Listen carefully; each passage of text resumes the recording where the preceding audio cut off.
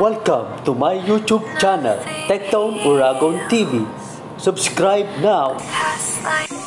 Hello po mga idol, siya po si Shera Venus. Ayan po, ginagawa niya po ay 2G uh, welding carbon steel plate using FCOW process. Ayan, tinatake niya po ang kanyang plate. So, dumikit po ang wire ng flux cord. So, ayan po, itatake niya po ulit mga idol. So, ayan po, pinapakat po yung wire. Ayan, itataking po ni Shera. Okay. Ayan, mga idol. Hintayin po lang natin na dumikit ang kanyang plate sa kanyang paglalagyan. Okay, Shera. Itaking mo na yan. So, ayan mga idol, ang kanyang plate is uh, ang root gap niya po is 3.2 mm and then yung bevel ng plate is 30 degrees. So yan po ang kanyang preparation ng weld on mild steel plate using FCOW process. So ayan na po. Sisimulan niya na po ang kanyang pag root pass. Ay itatake niya po ulit para masiguro na matibay ang kanyang taking. So inulit niya po ulit and then uh, hindi po gum wala pong laman yung kanyang pagtaking mga idol. So ang FCOW po mga idol is mayroon pong flux kaya nga, kaya nga tinatawag na flux cord arc welding dahil mayroon po siyang flux Ayan na po mga idol, dumikit na po ang kanyang plate. Ayan. So, medyo mali po ang kanyang uh, position. Medyo tabingi ang kanyang horizontal. So, inaayos po. So, tinanggal niya po ulit. Pinatanggal niya ulit kasi in, medyo tabingi po ang kanyang plate. So, tinataking niya po ulit mga idol. Sige, Shera. Itaking mo ulit. Okay. So, ayan na po. Kumapit na. And then, maayos na po ang kanyang plate. So, ayan po mga idol. Inulit na po. Ah, titirahin niya na po ang kanyang plate. Ah, root pass. Root pass in 2G position. Okay. Ayan na po mga idol. Sinisimulan na po ni Shera. Ayan na po continue lang po ang kanyang pag-welding sa root pass. Ayan po mga idol namat. Ayan sige inulit niya po ulit mga idol ang kanyang root pass. Ayan i-maintain lang po ang kanyang arc length. Ayan namatay ulit. Okay one more time.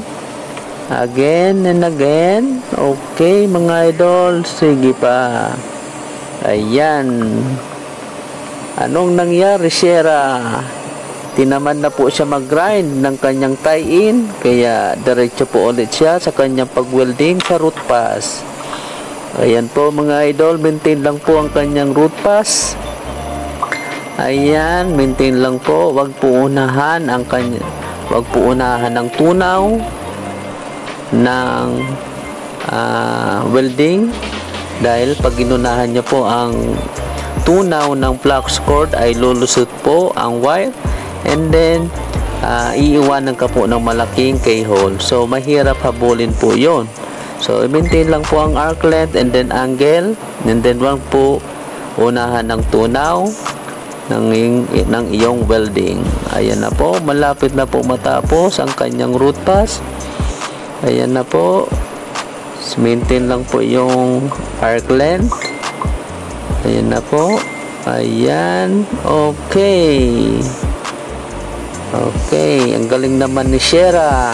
Ayan na po mga idol ang kanyang root pass in 2G position. So tingnan po natin ang kanyang likod ng plate. Ayan po mga idol. So nag-penetrate naman po siya mga idol. Nag-penetrate naman po ang kanyang root pass sa 2G position yan po ang tawag na root pass penetration in 2G position using FCOW process Ayan po mga idol, mga ka-welder, mga ka-metal. So, bali, trainee lang po si Mesyara kaya hindi pa masyadong kamay ang kanyang pag-welding sa Etkaw. So, dito po sa Tectone, hinahasa po ang mga baguhan sa pag-welding para mahasa po sila. Ayan po, ah, performing first layer of cupping ni Miss Shara Venus. Okay. Tingnan po natin ang kanyang uh, fourth layer of cupping kung okay ba talaga. So, makikita mo naman idol ang kanyang uh, may arclet medyo okay naman yung uh, angle of nozzle medyo okay naman kaya diretso ang kanyang pag-welding. So tingnan po natin kung okay ba ang kanyang uh, first layer. Ayan tapos na ata siguro. Ayan okay ang ganda Miss Shera Venus. Nakuha nga ni Mishera ang kanyang fourth layer ng cupping so tingnan po natin kung makuha niya po sa pangalawang uh, layer ng cupping so inaalis po ni Shera ang flux ayan po. So maganda naman mga idol. Ayan pantay na pantay mga idol. Tingnan natin. Ayan. Ayan mga idol. So pantay na pantay. Ayan po ang first layer ng cupping using EPCO process. So, tingnan naman po natin mga idol ang pangalawang uh, layer ng cupping. Kasi sa 2G position mga idol, dapat uh, dalawang layer, maximum of 3 layer. Kasi po, ang bakal niya, yung thick thickness is uh, 10 mm lang mga idol. Kaya medyo uh, 3 layer lang po ang kanyang maximum na layer mga idol. So, tingnan po natin ang pangalawang uh, layer ng cupping ni Shera Venus. Okay, tingnan po natin kung maganda ba ang pangalawa. Ayan. So, mahaba ang wire na lumabas. So, kailangan po natin putulin. So, dapat meron po kayong uh, pangputol ng wire tulad ng uh, wire cutter or plies. Ayan po, performing mild steel plate in 2G position. Uh, second layer of cupping by Shara Venus. Ayan po. Tingnan po natin kung maganda ba ang kanyang second layer. Ayan po, tuloy-tuloy lang mga idol. Ang kanyang pag-welding. Ayan na po. So, yung arc length naman mga idol, medyo na-maintain naman po. Pero tingnan natin. Uh, medyo uh, nagkaroon ng problema sa angle ng nozzle. Kaya, pangit ang kanyang second layer mga idol. Tingnan mo naman, medyo medyo mabilis siya mga idol. Ayan, tingnan po natin. So, medyo mabilis po mga idol kasi yung appearance ng welding hindi maganda. So, ano ang nangyari? Venus.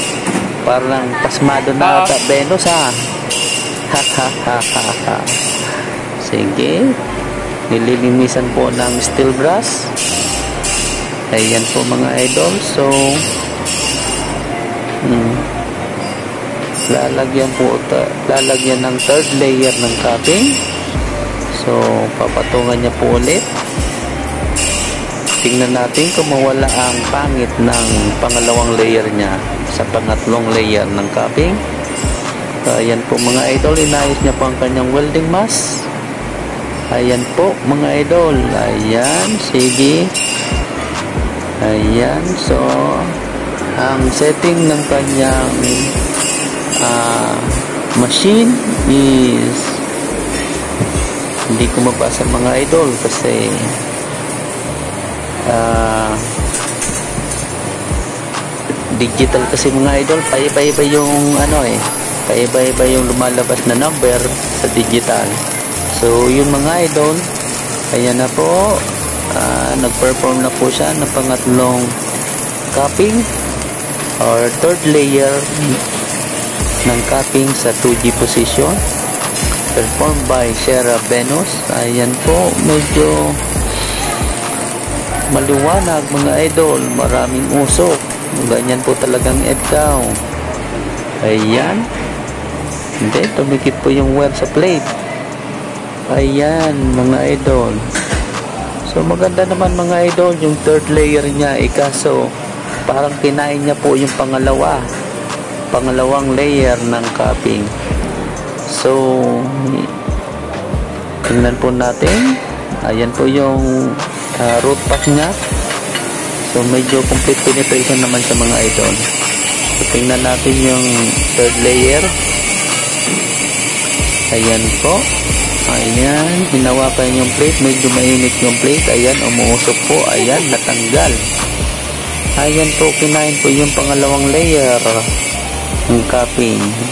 Ayan. Maganda naman siya mga idol. Yung appearance niya malinis So, ganyan talaga ang FK, medyo malinis pag inalis mo ng FK flux. So, kinain niya po yung pangalawang layer. Tanggalin mo ang welding So, mo. ayan po, si Sierra Venus uh, performing mild steel plate in 2G position using FK process. Palakpakan natin si Venus. Ayan. Palakpakan. Yan, maraming salamat.